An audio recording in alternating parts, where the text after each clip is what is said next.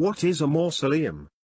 Loosely defined, all types of mausoleums fall under the following description, a freestanding building built to enclose a burial chamber or interment space. They have crypts, which are compartments that hold caskets. They may also contain columbaria to house cremains. When someone is buried in a mausoleum, they are said to be entombed. Their remains will typically be held above ground, except in the case of a few kinds of mausoleums described below, and tend to be popular because the area will always remain dry, unlike a standard burial plot out in the open. Families choose mausoleums for both casket entombments and cremated remains. However they are constructed and whatever types of remains they hold. Mausoleums are considered to be slightly more ecologically friendly than in-ground burials because they save on space. Mausoleums can be found in cemeteries, on church land, or on private land. Famous mausoleums. Some of the most famous places on earth are mausoleums, the Taj Mahal in India, Castel Sant'Angelo in Rome, the Mausoleum of Hadrian, and Lenin's Mausoleum in Moscow count as some of the most recognizable and highly visited mausoleums in the world. Even the Great Pyramids in Egypt are among the diverse types of mausoleums found in the world. Also worth note is that the Mausoleum of Halicarnassus is one of the seven wonders of the world. But not all mausoleums are as grand as these. Indeed, almost every cemetery in America has either private or public mausoleums, or both. Types of mausoleums. If you're currently considering different burial options and have been wondering about the kinds of mausoleums available to you, here's your guide. Family Mausoleums A family mausoleum or private mausoleum serves to preserve the memory of not just someone who has died, but the entire extended family as well. People who choose a family mausoleum typically seek to feel a deep sense of closeness with their family members, both living and deceased. The family mausoleum serves to uphold continuity of the family name and its traditions and allows for a permanent spot for future generations to visit and reflect upon their heritage. Family mausoleums became popular in the United States beginning in the Victorian era, the late 1800s, and are very prevalent in places like New Orleans, where in-ground burials are difficult due to low elevation. Public mausoleums. Many cemeteries in the United States have public mausoleums in which families may choose to entomb their loved ones' remains.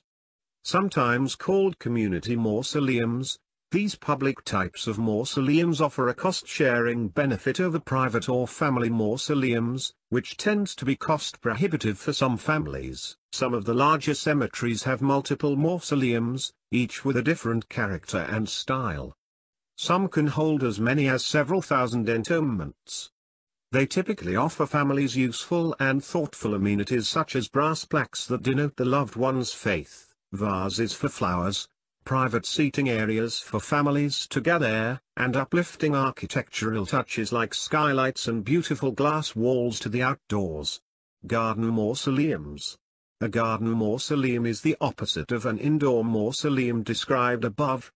Since it doesn't include an indoor space or a chapel that needs to be heated, it's a less expensive option for cemeteries located in cold climates.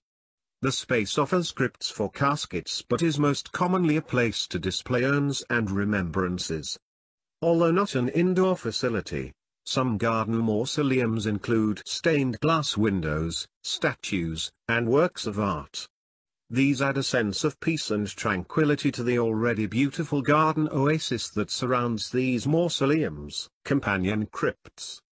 Within the mausoleum that holds their remains of several people, there can be any one of several different configurations for the crypts. A common style is to have single crypts, each of which holds one casket.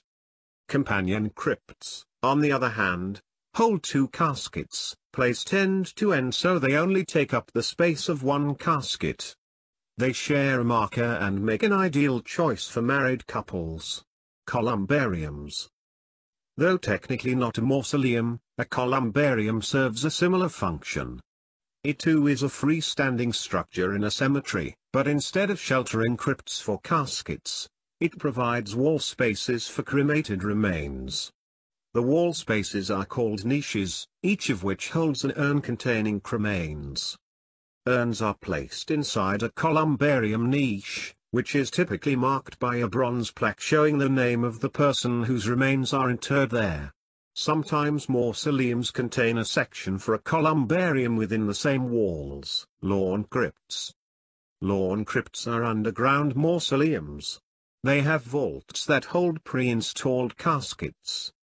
There are also above-ground lawn crypts that allow space for two people and which remain dry. Lawn crypts are said to offer the benefits of both an in-ground burial and a mausoleum entombment. They are cost-effective yet still traditional, so for families who desire a traditional, in-ground burial for their loved one, but would also like to economize without compromise, lawn crypts can be a good choice. Likewise, families who wish to choose a greener option might also consider lawn crypts, as they are considered to be space savers.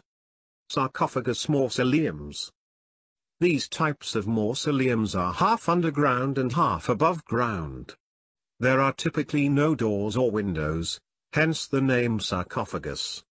A sarcophagus is defined as a stone coffin, much like those used in ancient Egypt.